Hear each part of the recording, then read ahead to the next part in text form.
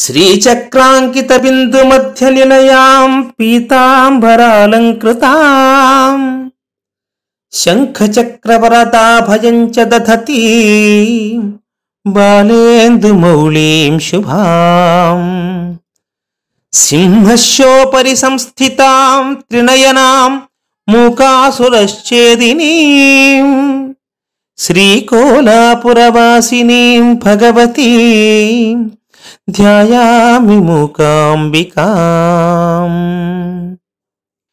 कामाक्षीम् करुणेक्षणाम् परिलसद्दिव्याञ्जनैरञ्जिताम् नासायाम् नवमौक्तिकाम् विदधति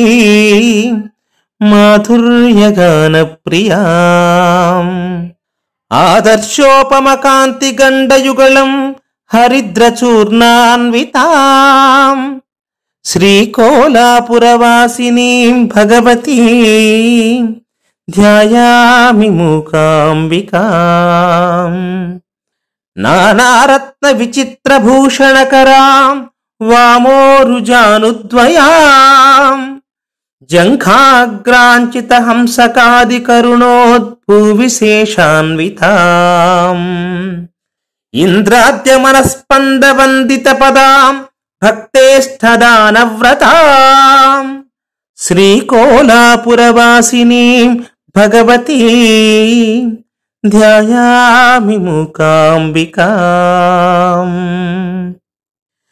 गायत्रीम् गरुडध्वजाम् गगनगाम् गान्धर्वगानप्रियाम् गम्भीराम् गजगामिनीम् गिरिसुताम् गन्धाक्षतालङ्कृताम् गङ्गा गौतम गर्गसन्नुतपदाम् गाम् गौतमीम् गोमतीम् श्रीशैलस्थलवासिनीम् भगवती श्रीमातरम् भावये।